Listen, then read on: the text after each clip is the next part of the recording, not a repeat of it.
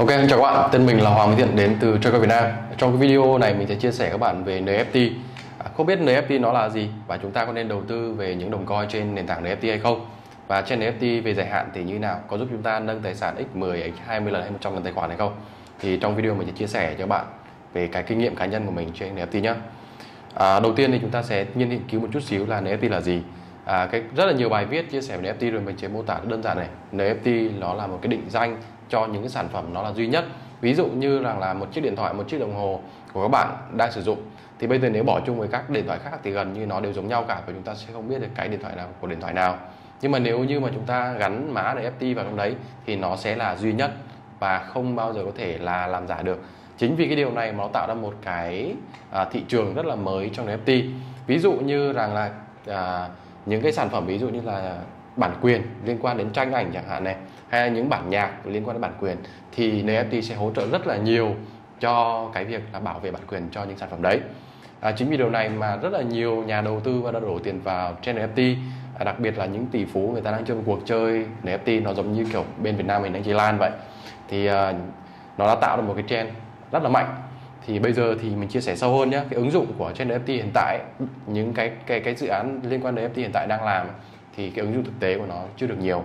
Nhưng về tương lai dài hạn thì nó cực kỳ cực kỳ rất là hiệu quả rất là tiềm năng. Mình ví dụ như như là à, thẻ căn cước công dân của các bạn này, hay là những cái sản phẩm như là âm nhạc hay là quần áo thiết kế đến đấy chẳng hạn thì người ta sẽ không muốn bị copy đúng không ạ? Không muốn bị làm giả thì người ta sẽ định à, gắn cái mã NFT vào thì cái sản phẩm đấy sẽ là duy nhất. Và chính vì cái điều mà cái điều mà duy nhất và có số lượng giới hạn cho nên mới mang đến cái giá trị đặc biệt cho NFT à, những cái có một số bức tranh có lên tới mấy chục triệu đô đó cũng chỉ là điều này. Ok ha cái vấn đề thứ hai là cái cái tiềm năng của NFT về dài hạn thì mình đánh giá rằng là à, về lâu dài thì cái trend này sẽ là một cái trend mạnh. Và hiện tại nó chỉ là một cái thời điểm chớm nở của trend NFT mà thôi. Nên là các bạn đừng bỏ qua cái trend này nhé à, với cái thời điểm hiện tại là thị trường crypto bitcoin tăng trưởng khá là mạnh thì cho nên là những cái con mà NFT ấy, nó đã bay cao so với giá thị thực của nó. Nên chúng ta phải chờ đợi khi mà nó điều chỉnh lại một chút xíu. À, chúng ta sẽ vào lệnh. Vì à, mình thấy rằng có ba nguyên tắc khi các bạn đầu tư dài hạn về các đồng coin mà các bạn cần phải để ý đầu tiên nó là nó hỗ trợ cho cái giá trị thực tế nào. Bởi vì lâu dài cái thứ hai là cái cách mà nó phát triển marketing ngoài cộng đồng thị trường. Và cái thứ ba nữa đó chính là cái vị thế vào lệnh của bạn đó là cái giá bạn vào lệnh có thật sự tốt hay không. À, ba yếu tố này là sẽ là ba yếu tố mà để quyết định các bạn sẽ lợi nhuận có cao hay là không. Thì à, mình để ý rằng là trend NFT một số con hiện tại đang top trend của NFT nhé thì giá của nó là cái cap của nó trên tổng cap hiện tại rất là cao mười mấy tỷ đô hoặc là cũng một vài tỷ đô. Cho nên những cái con đấy thì khả năng tăng trưởng x3 x5 x10 tài sản sẽ khó khăn hơn so với những con mà à, cái cap của nó chỉ là 300 triệu hay là 30 triệu. Bây giờ mình sẽ mở màn hình lên để chia sẻ các bạn một số cái cách tìm hiểu về trên NFT ha. À, ở đây ok trên uh, Cogeco đây.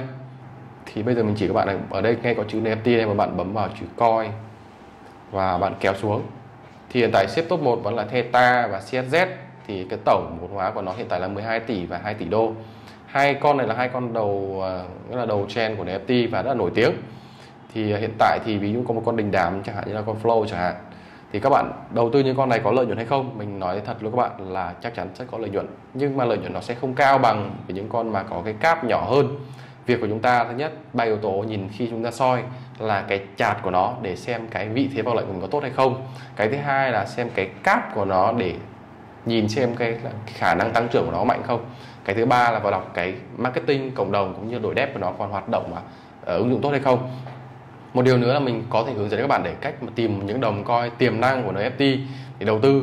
Thì mình chỉ các bạn như này này ở trên tất cả các phương diện liên quan đến blockchain thì chúng ta nên tìm hiểu những cái trend mà liên quan đến cái dạng như là nền tảng. Ví dụ như là à, đầu ngành của nền tảng NFT game hay là đầu ngành nền tảng của NFT về âm nhạc hay là phục vụ những cái mảng liên quan trong sâu sắc hơn về NFT chẳng hạn như là à, để list những sản phẩm NFT chẳng hạn thì những cái dạng như vậy nó sẽ hỗ trợ cho cái việc là dài hạn tốt hơn so với việc là chỉ là những cái game những cái game gắn NFT hay là những dự án chỉ có cái tên NFT mà thôi.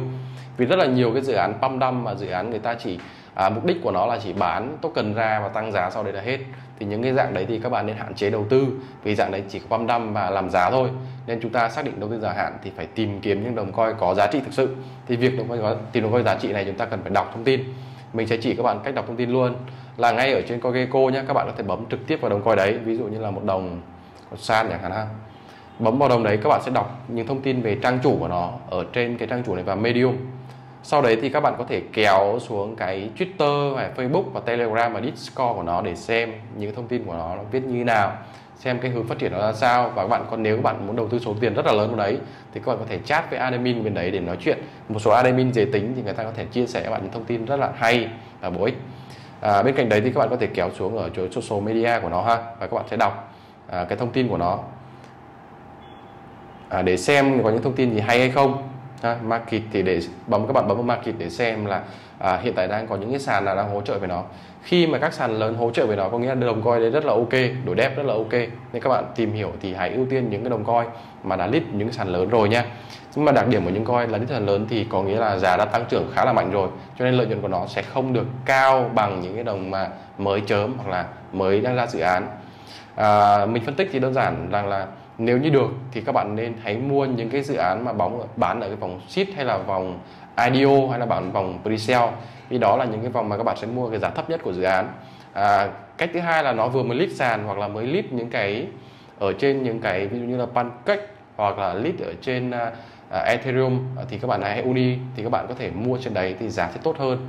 Còn nếu các bạn đợi nó lên trên những sàn lớn rồi thì tất nhiên giá sẽ cao hơn một chút xíu nhưng mà độ an toàn sẽ cao hơn ha nếu như mua trên sàn lớn. Ok, à, đó là những cái chia sẻ của mình trên về trên NFT. Còn để cụ thể về những đồng coin như thế nào thì các bạn sẽ theo dõi ở video sau của mình nhé. À, xin cảm ơn các bạn đã dành thời gian để theo dõi à, video của mình. Mình là Hoàng Minh Thiện đến từ Trader Việt Nam. Cảm ơn các bạn đã xem. Hãy nhớ like và bấm subscribe cho kênh của mình nhé. Cảm ơn các bạn.